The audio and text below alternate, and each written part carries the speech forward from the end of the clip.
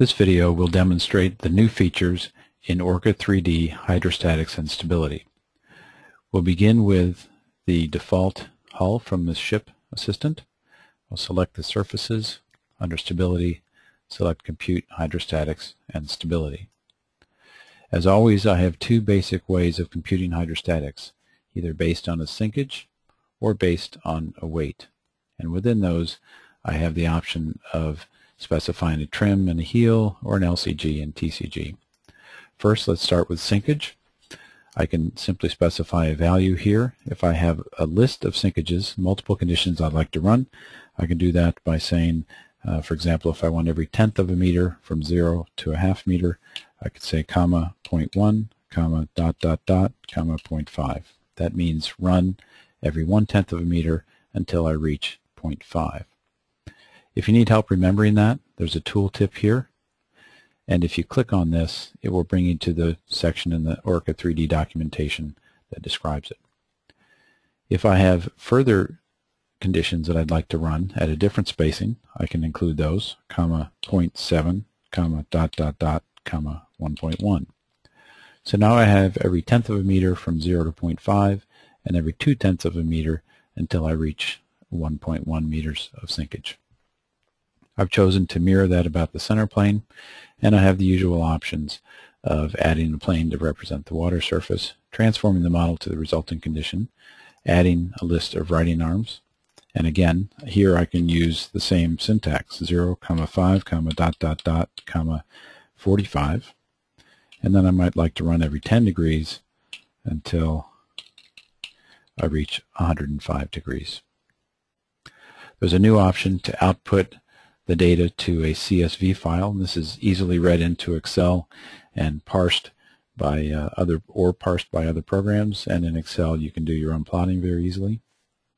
There's also a new feature here called Use Custom Conditions, so that if you have conditions that are created by various combinations of sinkage, trim, and heel, or weight and CG, all those combinations are listed here.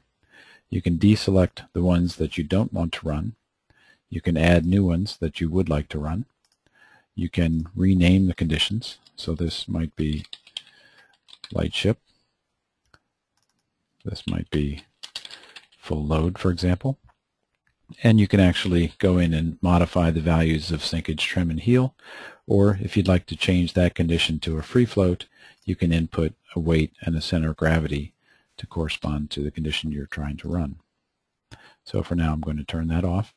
And if I calculate, I'll see the report beginning with a summary page of all of these conditions.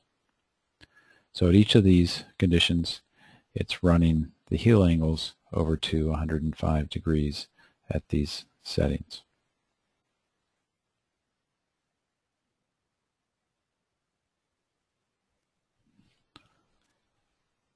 And here's my report, beginning with a summary page.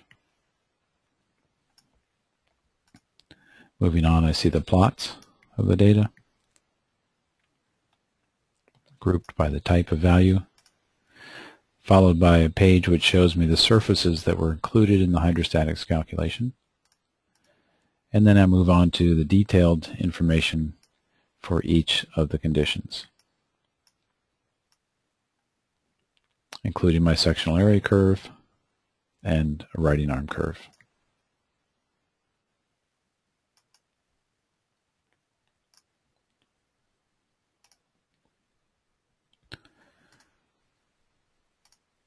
As I said earlier, in addition to specifying a sinkage, we could instead specify a weight and a center of gravity.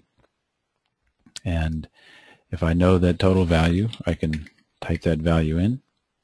If I don't know the total value, perhaps if I know the components of it, I can click on this calculator icon and this brings up essentially a small spreadsheet where you can input a list of items by name with their weight and center of gravity and it will total those down here for me.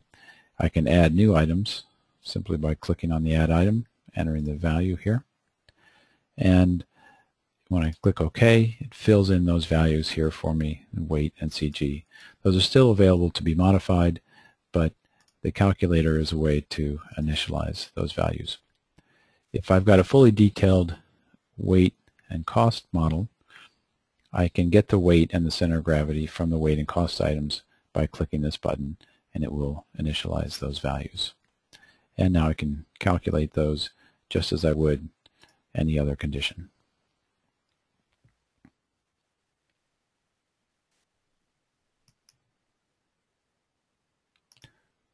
So that's what's new in the Orca 3D hydrostatics and stability functionality.